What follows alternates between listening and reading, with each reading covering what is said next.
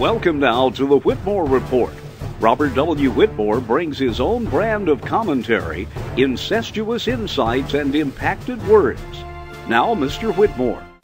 Eh, hi and good evening again, everybody. Bob Whitmore down in the empty studios here. You know, last night we were talking about how it was the anniversary of the time that Leif Erikson was he a Viking? Does anybody remember?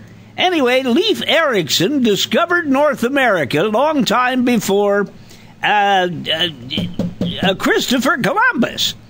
But it was on this date in 1802 that the first non Indian settlement came to Oklahoma.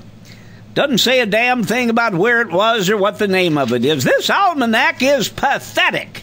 I'm Bob. You've been listening to the Whitmore Report, incisive and impacted commentary by Robert W. Whitmore. Join Mr. Whitmore weeknights right here. This is the Shrievikman Radio Network.